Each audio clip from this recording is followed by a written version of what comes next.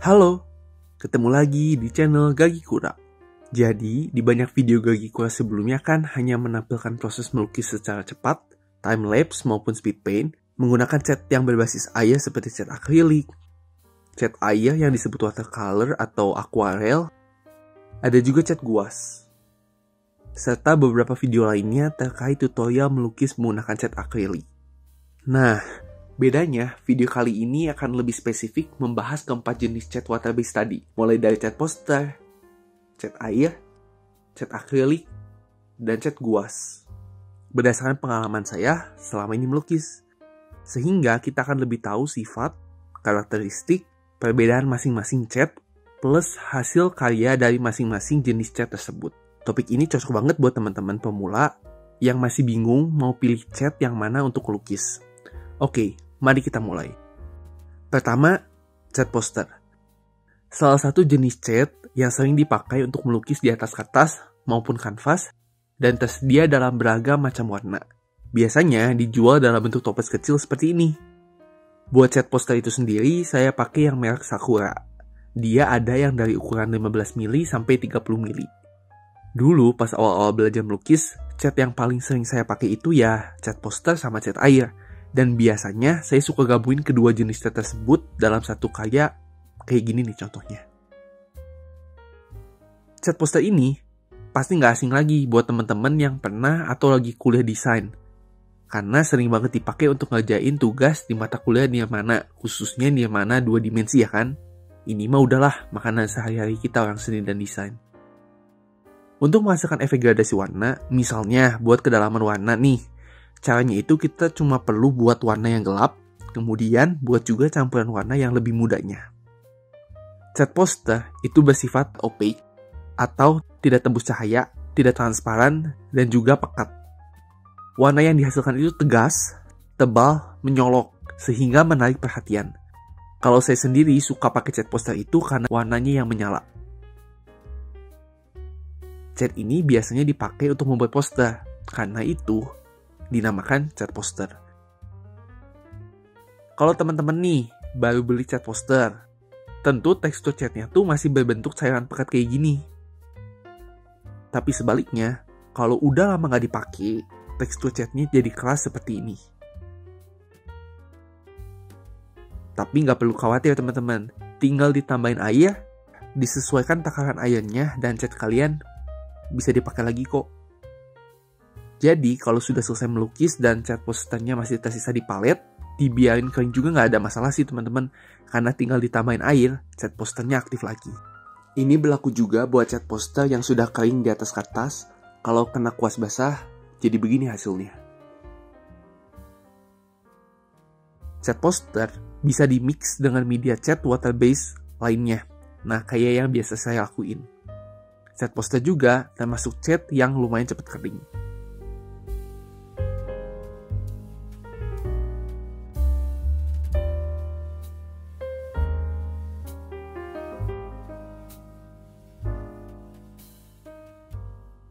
Oke lanjut, kita bahas cat air.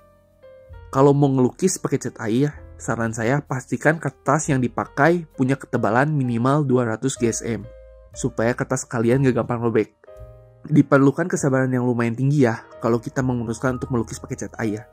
Selain perlu menunggu waktu yang cukup lama sampai hasilnya kering, sewaktu melukis pakai cat air ini juga kita perlu membuat beberapa layer atau lapisan yang saling ditimpakan setelah lapisan sebelumnya kering atau setengah kering. Untuk cat air, saya biasanya pakai yang merek Meris. Beli satu set isi 12 warna atau yang Sakura Watercolor, di mana udah dapat palet sekaligus dapat kuasnya juga.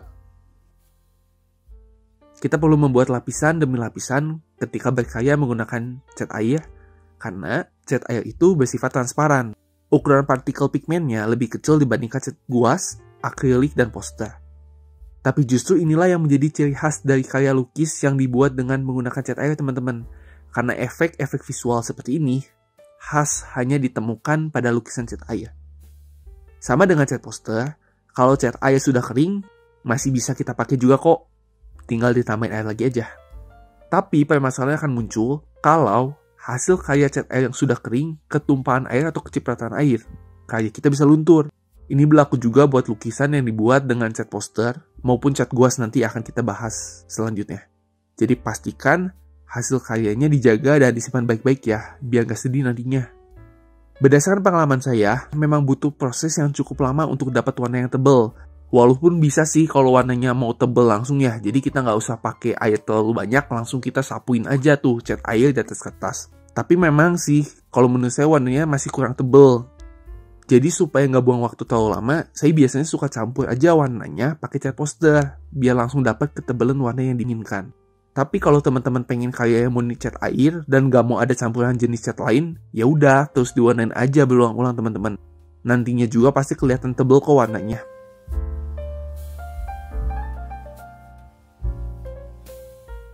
Yang ketiga, kita bahas cat akrilik.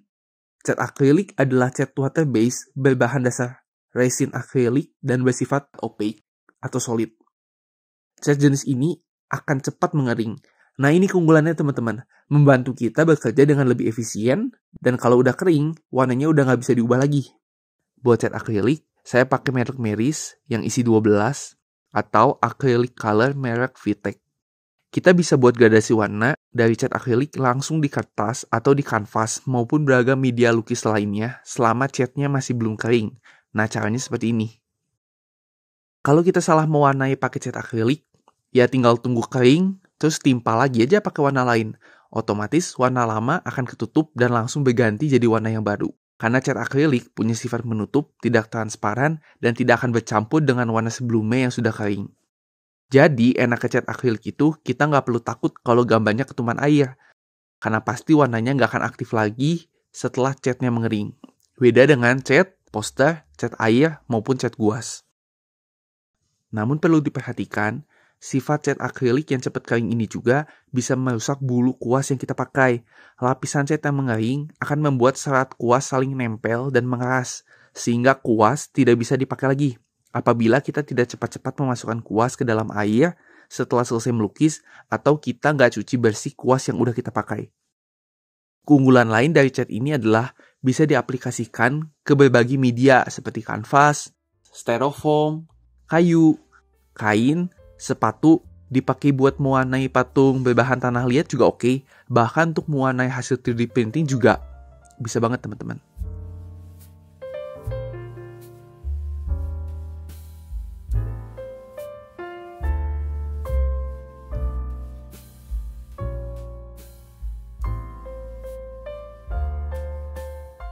Oke, yang terakhir, cat guas. Sifat dan karakteristik cat guas ini bisa dibilang ada di antara cat air dan cat akrilik, di mana cat guas memiliki warna yang lebih tebal daripada cat air, dan cat guas juga akan lebih cepat mengering seperti cat akrilik. Buat cat guas, saya pakai yang merek Meris. Setelah kering, cat guas ini masih bisa dipakai, tinggal disemprot atau ditambah sedikit air lagi aja teman-teman. Perlu diingat, saat menggunakan cat guas, volume airnya itu nggak akan sebanyak cat air. Jadi pastikan cat dan kuas selalu dalam keadaan lembab saat kita melukis menggunakan cat yang satu ini. Cat guas memiliki kualitas warna yang lebih tebal ketimbang cat air, karena partikel pigmennya yang lebih besar dibanding partikel pigmen cat air. Sehingga cat ini bisa diencerkan dengan air kalau kita ingin menciptakan warna yang lebih transparan atau kalau mau diaplikasikan dalam lapisan tebal untuk mendapatkan efek tekstur yang mirip cat akrilik juga bisa teman-teman. Berarti penggunaan airnya lebih sedikit lagi. Cat ini bersifat opaque, tak tembus cahaya. Kita bisa membuat layer di atas warna. Misalnya, warna terang di atas warna gelap. Dengan catatan setelah warna sebelumnya sudah kering. Jika kita mengoleskan lapisan cat baru di atas cat yang basah, nanti warnanya akan bercampur jadi warna baru kayak gini nih.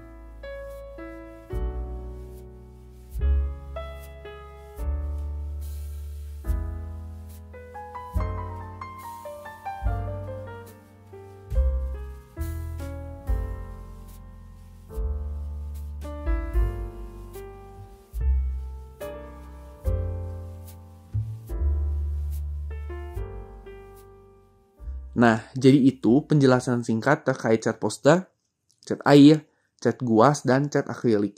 Setelah teman-teman tahu sifat, karakteristik, dan hasil karya lukis dari masing-masing cat tersebut, udah tahu dong kira-kira apa cat favorit pilihan kalian. Sekian video kali ini, semoga membantu dan bermanfaat buat teman-teman semua. Sampai ketemu lagi di video-video selanjutnya ya. Bye!